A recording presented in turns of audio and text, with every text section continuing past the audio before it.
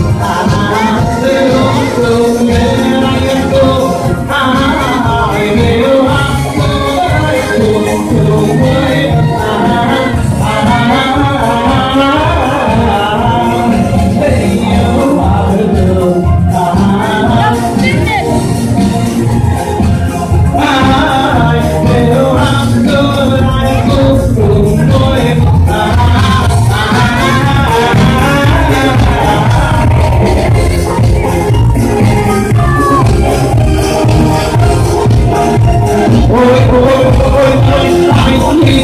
Because the goodness of our Father is true. Is that